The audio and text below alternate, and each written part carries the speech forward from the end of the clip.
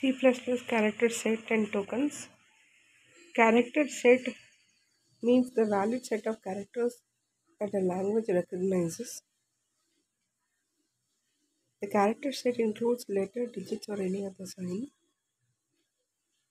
The following are character sets in C++.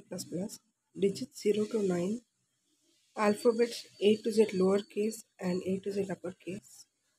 Special characters plus, minus, slash, open flower bracket, close flower bracket, open round bracket, close round bracket, percentage, double apostrophe, question mark, semicolon.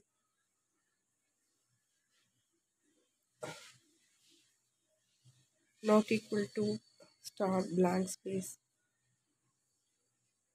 etc. of characters that are the building blocks and they form the basic program elements. Cool. However, C++ is designed in such a way that is capable of processing any of the 256 ASCII characters as data or as literals.